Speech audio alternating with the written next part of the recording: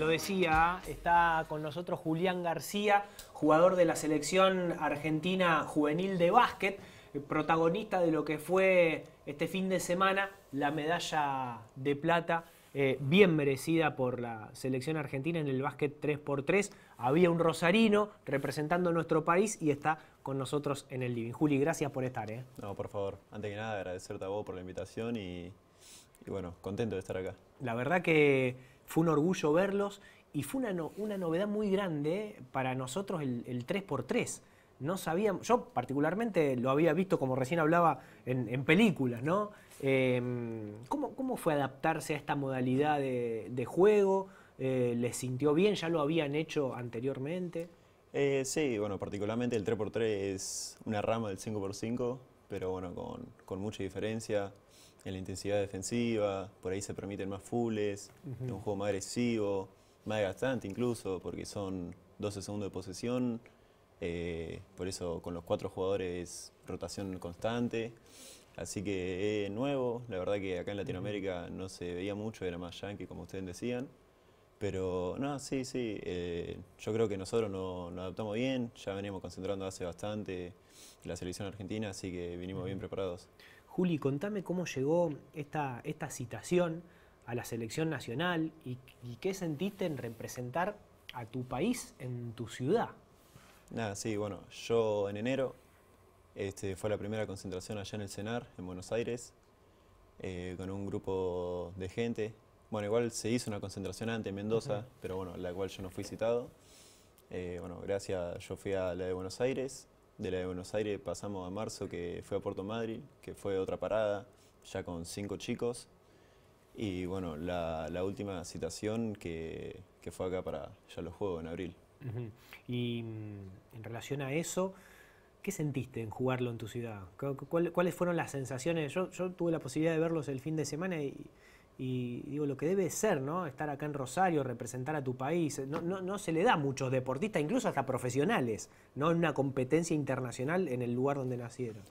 Nada, nada, la verdad que muy contento, pero demasiado por el, por el apoyo que, que todo el mundo nos, brindó. Yo creo que, por ejemplo, lo hablábamos con los chicos de que yo le dije que para mí hay mucha gente y se hizo notar. Sí. Había muchísima gente y, y la verdad que se sintió. Y bueno, jugarlo acá en Rosario era cada vez que mi nombre o hacía una jugada se, se hacía sentir el aplauso, el grito. Bueno, y demás está decir de todos mis amigos, familiares. que etcétera. fueron todos. Aparte televisado también a todo el país por Teis Sport, eh, algo que imagino a ustedes les debe haber eh, impactado muchísimo. Y después, imagino también las redes sociales, aumentar los seguidores, ¿no? ¿Cómo- con, cuántos seguidores arrancaste eh, en tu, ¿Cuál es tu Instagram? Yo me llamo Julián García punto dos. Julián García, Punto dos. punto dos. Y aumentaron, imagino, un montón, Y 600, 700. 700, después de la competencia. Sí, la verdad. Y se veía también algo muy, muy interesante. Obviamente uno, la televisión ve el partido, pero cuando tenés la posibilidad de ir, ves otras cosas. La comunión con el equipo femenino Sí. de básquet, que no, no, no, no se lo veía tan por ahí con otros países, eh, el, el- que era prácticamente un solo equipo, parecía, ¿no? Sí, yo creo que, bueno, de todas las concentraciones ya era un grupo de, de que yo, como te decía, en el CENAR, en Puerto, que, que era un solo equipo, digamos. Entrenábamos todos juntos, con la misma intensidad, con la misma garra, y, y yo creo que también nosotros lo que más quisimos hacer es que, que se vea esa unión. Por ejemplo, cuando jugaban las chicas, estar ahí alentando cada jugada, cada pelota. Por eso el triunfo de la chica, la medalla dorada, para reconocerlo, este, yo creo que fue muy importante para nosotros, para darnos un buen envión para, para jugar la final con más, con más garra, pero bueno, al final no se pudo, pero, pero orgulloso de, de tenerla de plata. Un partido muy interesante hiciste en la semifinal contra Brasil. ¿eh? Sí. Ahí, ahí mostraron, me parece que lo, lo mejor de, de todo el, de todo el torneo. La verdad que fue un partidazo, rival muy duro, Brasil, eh, semifinal nos veníamos preparando, sabíamos que, que iba a ser a, a pura garra, digamos, a puro esfuerzo, a sacrificio nuestro que hicimos con, lo- con los chicos, pero yo creo que el partido se nos fue dando para, para quebrarlo y hubo momentos en los cuales no, nos floreamos, digamos, Sí, de, puro notó. básquet y a, a base de defensa, de agresividad. Eh, yo lo noté a Brasil en un momento perdido, de, de estar desconcentrado, y eso también lo ayudó el público, porque no es fácil perder una pelota y te abucheen o, o que el otro equipo te meta una bandeja y, y que se caiga el estadio. Totalmente, y se, y se notaba.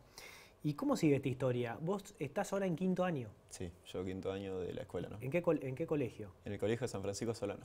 Mandamos un saludo. Saludo a- para- Que, que están para mirando, seguramente. Y jugás acá en Rosario, Y juega acá en Rosario. en, en Atlantic, Sportman. en, en Atlantic Sportmen. ¿Y qué, qué soñás para, para el futuro?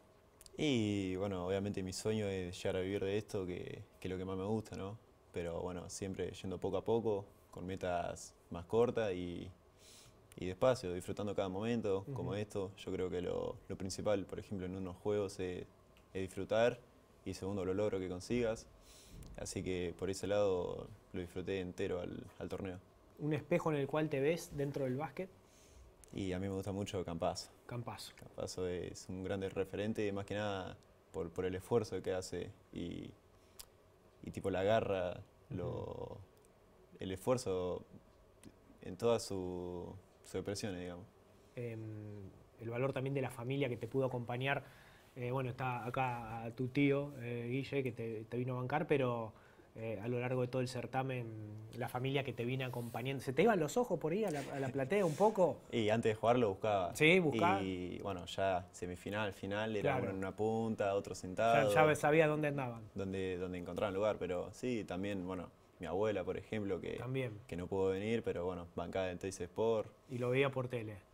tal I- cual. Impresionante realmente. La verdad que eh, muy lindo poder charlar con vos, conocerte eh, y ojalá que siga, que siga este grupo. Imagino que se siguen, eh, se seguirán reuniendo, seguirán entrenando eh, y que esto no, no termine. Habrá, hay competencias de las juveniles para más adelante. Y ¿Cómo el, sigue la, la- la agenda o termina acá?